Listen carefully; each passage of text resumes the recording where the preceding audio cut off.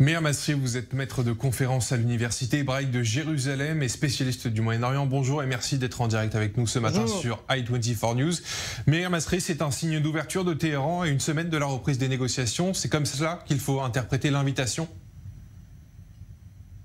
Euh, non, non, pas forcément. Il faut savoir que l'Agence euh, internationale de l'énergie atomique a à trois reprises demandé des explications aux Iraniens concernant des violations, de, que ce soit du traité de non-prolifération ou de l'accord de Vienne, et il n'y a pas du tout eu de réponse. La moindre des choses aurait été de recevoir le directeur de l'agence six jours avant le début des négociations quand même. Il n'est jamais trop tard. Et je pense que c'est un voyage qui est important parce qu'il euh, va donner le ton. Euh, on va voir si les Iraniens vont être coopératifs avec euh, Raphaël Grossi ou pas. S'ils vont l'être, alors effectivement, ça va faciliter le contact avec les négociateurs occidentaux dans six jours, et sinon, ça va compliquer la donne. Alors, pour l'instant, c'est un dialogue de sourds entre Washington et Téhéran. Les États-Unis réclament des conditions que l'Iran rejette systématiquement. Ces discussions à Vienne, elles peuvent véritablement aboutir?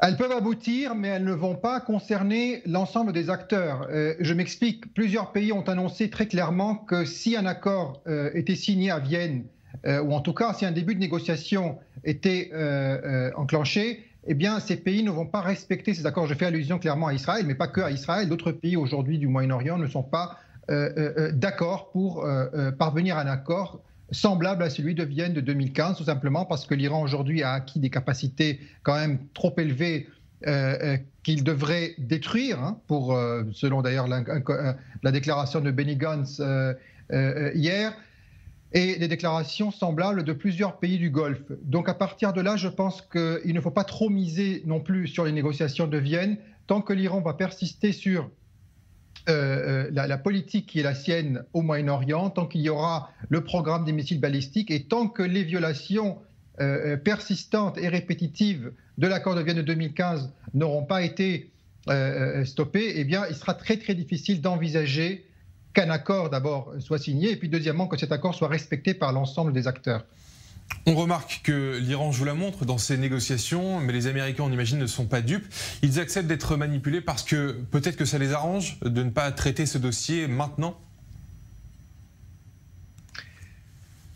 Euh, ils sont face à un dilemme parce que euh, quand on parle de l'Occident aujourd'hui, c'est qui clairement? C'est avant tout les États-Unis. Est-ce que les États-Unis seraient prêts à euh, intervenir militairement Est-ce que les États-Unis seraient prêts à opter pour euh, une solution coercitive, ce que Israël appelle la solution B ou la solution alternative? Euh, ça n'est pas en tout cas l'impression que donnent les Américains. Lorsque le président américain en personne dit très clairement qu'il n'est pas envisageable d'entreprendre des mesures de, coercition, que tout doit être réglé par la voie de la, diplomatie, alors, ce n'est clairement pas du tout un message dissuasif adressé à Téhéran. Euh, je pense que la, position iranienne s'est beaucoup renforcée euh, euh, sur le, plan des négociations avec les, forces occidentales, les puissances occidentales, et, tout cela, évidemment, n'est pas, pas du tout bon pour la suite. Merci beaucoup, Meir Masri, d'avoir répondu à nos questions ce matin en direct sur i24 News. Je rappelle que vous êtes notamment spécialiste du Moyen-Orient.